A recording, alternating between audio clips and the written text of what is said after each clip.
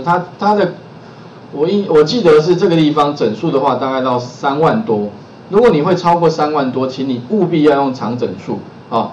那另外单精准数跟双精准数关系跟整数跟长整数差不多，当然双精准数放的数字比较大。那这个所谓的那个呃什么单精准数或说，实际上就有小数点的意思。如果说你的资料里面有小数点的话，那我建议你干脆就用双精准数就好了，好直接选这个就可以。那如果说呢，我们因为我们这里面这个邮递区要不会小数点的哈，我们干脆用整数就可以了。OK，好。那整数这资料的话，这其他文字这也是文字，这些文字。那像弄的部分的话，如果你不确定哈，你看起来是数字，基本上不然就也是用文字也可以了哈。那这个数这个部分的话，你干脆呃弄的话，那用整数好了。好，那后号的话也用整数，因为不可能有小数点哈。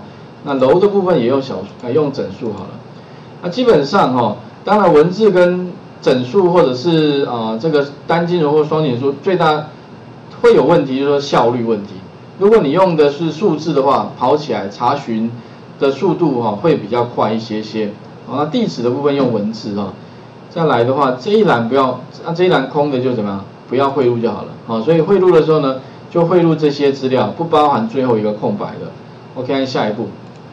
好，那最后他问你要不要主索引呢？这个地方暂时不要主索引。啊，比较简易一点，简单一点哦，因为里面资料量不多哦，不用煮，所以按一个下一步。那最后他问你说，哎，你要汇入叫什么名称的资料表？我们叫地址啊，那完成。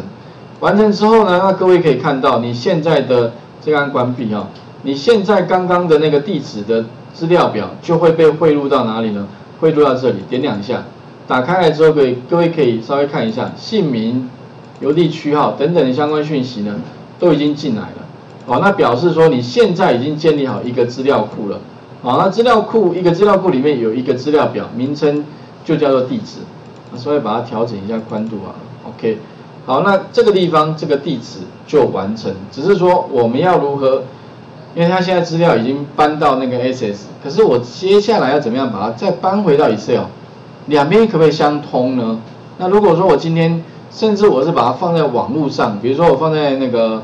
呃，网络上的方林，那我们各部门都可以透过网络上的方林可以连接得到的话，那我将来我也可以做一个共通资料的来源。好，那这部分的话呢，怎么做哈？请各位先利用 SS，那建立一个哈资料库。那建立好之后的话，应该是会放在我的桌面上面，我看一下，应该是，我是把它放在，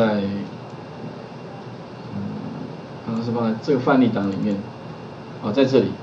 哦，那特别注意就是把把它跟我们的这个呃 Excel 放在一起啊，这个 OK。那试着先建立这个资料库啊，画面先还给各位一下哦。